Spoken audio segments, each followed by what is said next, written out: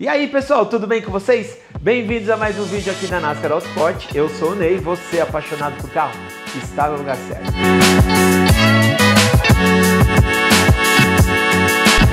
Não é inscrito no nosso canal, se inscreve aqui embaixo, ativa o sininho e já deixa o like que ajuda a gente demais. Estamos começando uma aventura nova na NASCAR. É, é, e eu vou dizer que essa aventura vai levar você e muitos a participar junto com, com a gente de tudo isso aqui. Que demais! Ai, que delícia! Vocês vão participar agora com, no, com nós aqui. Ó, vocês vão participar com a gente de tudo isso aqui. Por quê? Nós estamos fazendo aí, a partir desse, desse vídeo, nós vamos criar esse, esse quadro, vamos dizer assim, que a gente vai pegar alguns comentários de alguns inscritos, alguns comentários de vídeos que vieram e a gente vai privilegiar você com o seu comentário, vamos dizer aqui, vamos bater esse papo. Pegou a visão? Vamos começar aí com o vídeo de um DS3, um preto, eu lembro muito bem dele, é... onde o cliente chegou para mim e falou assim, cara, peguei um poste e agora o que, que eu faço? Falei, meu, vai cair, vai sair uma grana. Ele falou, vai sair caro. E aí nós fizemos uma proposta de trabalho que eu acho que vocês gostaram e ele gostou mais ainda. E um dos comentários que veio de lá foi o seguinte, né? O Jefferson Rocha, ele comentou assim: "Uma pergunta, não daria para envelopar de cromado as grades?" Cara, vamos lá. Para a gente envelopar esse cromado, não ia ficar com uma qualidade tão legal. E o cromado, ele é, uma, é um tipo de tratamento ingrato. Ele não permite, ele não aceita nada que não seja perfeição. A minha visão é essa, não sei a de vocês. Então, assim, para você ter um negócio ou algo que você tá vendo que não tá legal, cara, vamos partir para outro caminho. E foi essa a nossa, nossa visão. Nós partimos para pintar de tudo de, de, de black, tentar fazer um black piano ali, justamente por causa disso, porque na área do cromado envelopar, acho que não ia ficar legal. Tem outra do DS3, o Newton Vicentim. Vindo da Nascar, não se esperava nada mais, nada menos do que um belo sorriso no rosto do cliente. Nascar, cada vez se superando. Cara, obrigado aí, viu, Newton? É um negócio que é interessante porque a gente sempre está se colocando à prova.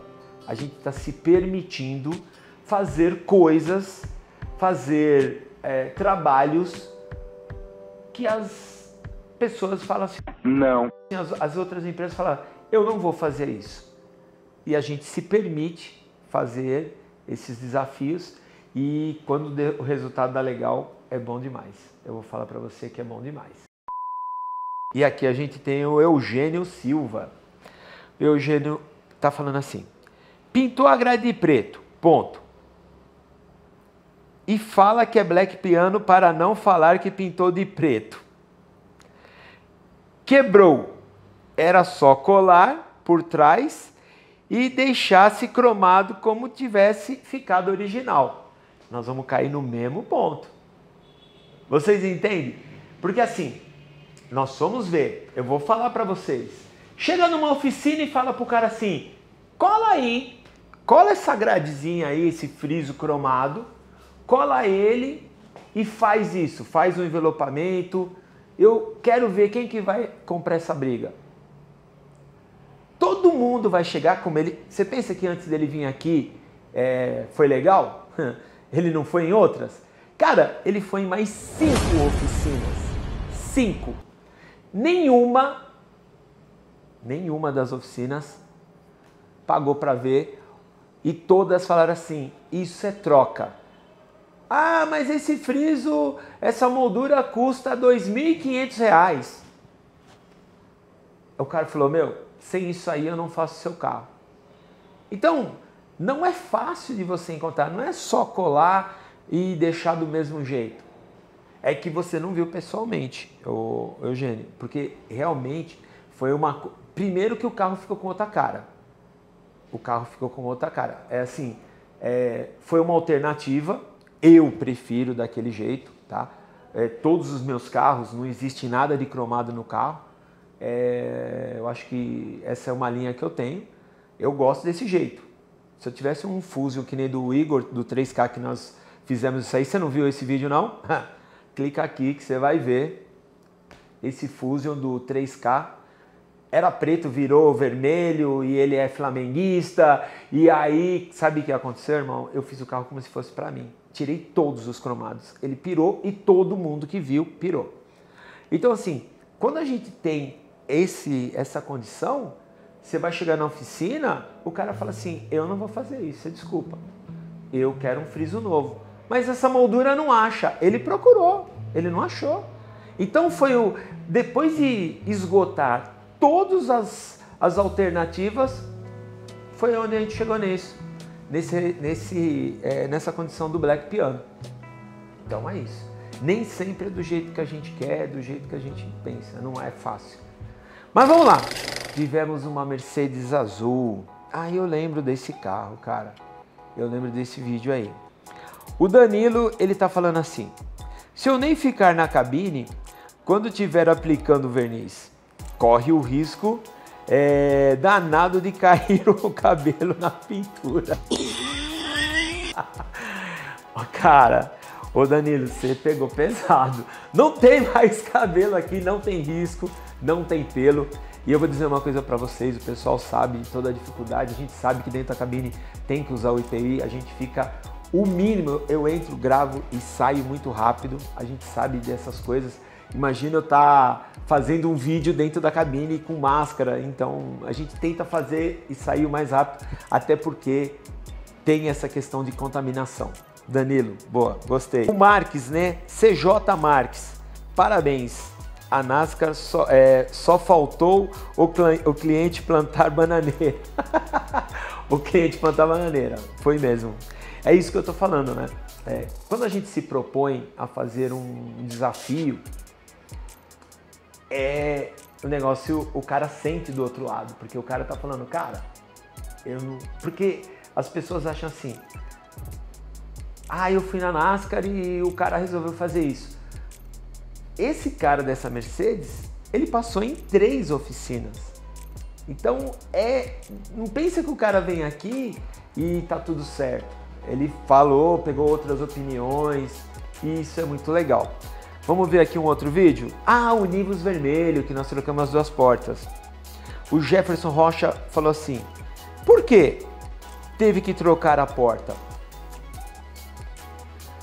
Ai, ai, eu também não gostaria, viu, o, o Jefferson? Eu, nós não gostaríamos de ter, ter trocado a porta, não. Tanto é que a dianteira nós recuperamos, nós trocamos apenas a traseira é que tem um nível de reparação que ele fica tão agressivo, vai ser tão grande a questão do reparo, que tecnicamente não compensa. E foi essa a proposta que nós fizemos lá para o cliente também. Nós falamos assim, cara, não dá, a gente vai ter que trocar. Aí a gente vai num desmonte legalizado, com etiqueta, tudo direitinho. Muitas vezes a gente vê o carro tirando a porta do carro, que, que teve o, a, a baixa lá no Detran e aí você retira a porta e aplica. É muito mais rápido, você não tem reparação e o custo é muito melhor, né? Eu, eu vou dar uma ideia de valores para vocês, tá? Uma porta dessa, acho que nós pagamos em torno de uns 900 mil reais, acho que foi uns 900, mil, 1.100, eu não lembro direito, mas deve ter sido isso, até uns 1.200. E uma porta nova dessa deve estar com certeza acima de 2 mil, 3. Ela deve gerar em torno disso. Então, não teve jeito. Vamos lá para o próximo. A tampa do, da EcoSport. Ney, ah, o João, o José Eduardo Horta. Ney, você não poderia ter tirado parte daquela tampa é, é, do descarte para enxertar na da EcoSport? São os desafios, cara. Porque a gente às vezes você se depara com aquilo e depende do profissional. Eu vou dizer uma coisa aqui para vocês. Imagine assim, nós temos aí dois funileiros e três funileiros. Tem uma outra pessoa que presta serviço para gente. cada um tem uma habilidade diferente. Então, às vezes, você está com um profissional fazendo um determinado carro e o outro tem que fazer aquele outro carro. Então, são questão de habilidade, de, de, de, de visão. Às vezes, um fala: Não, acho que eu vou por esse caminho.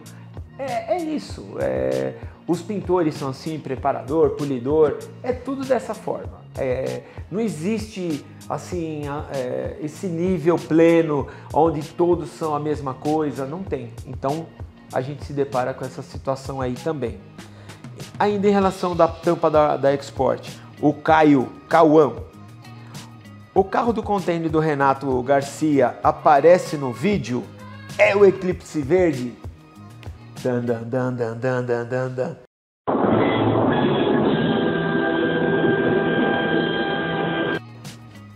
Eu não sei se é o carro do Renato Garcia. Eu não sei, eu não sei. Eu, eu acho que não, eu não sei. Eu não sei. Eu falaria para você, viu, Caio? Mas esse eclipse vai dar o que falar. Tem um vídeo que nós estamos fazendo desse carro que vocês aguardem que vai ser muito legal. E aí nós vamos falar do Ultimate Drift. O pessoal do Drift sempre está aqui né, com a gente. A gente sempre está prestigiando o Drift. A gente gosta muito de Drift. Gosto muito da turma do Drift. Então, quando tem evento, tiver evento de Drift, pode chamar que a gente está comparecendo. Sempre está aí na aldeia da Serra com o pessoal aí. Mas vamos lá. O Christian. Os bastidores é top. Valeu, Ney. É legal a gente poder mostrar isso para vocês, né, cara? A gente teve o privilégio aí de estar tá rondando ali os camarotes, então é um negócio que é, não, é, não são todas as pessoas que têm esse acesso e eu achei muito legal a gente poder mostrar isso daí. Valeu, Christian. E aí nós vamos finalizar com o Perim, é, falando desse mesmo vídeo. Ney, é top. Eric é um fenômeno. Os dois juntos são espetaculares. Cara, o, o, o Eric Medici, ele é mais do que um amigo pra gente. Eu tenho um carinho grande, nós somos é, irmãos. Eu tenho um carinho enorme por ele, a Cláudia também. Então ele, a esposa, as duas filhas, toda a turma e cada vez que a gente se encontra é essa verdadeira festa. Então é isso. Olha aí, ó. Viu que legal? Tá aí a nova proposta da gente aqui da Nasca para fazer um vídeo nesse formato. E você agora, por favor, vai lá nos nossos vídeos, comenta porque a gente vai estar tá pegando a partir de agora de vídeo antigo, de vídeo novo, de tudo que vier, a gente vai estar tá pegando os seus comentários para que a gente possa estar fazendo né, reagir perante os comentários. É isso. Se não é inscrito no nosso canal, se inscreve aí, ó, ativa o sininho e deixa aquele like e o principal, vem com a gente. Valeu.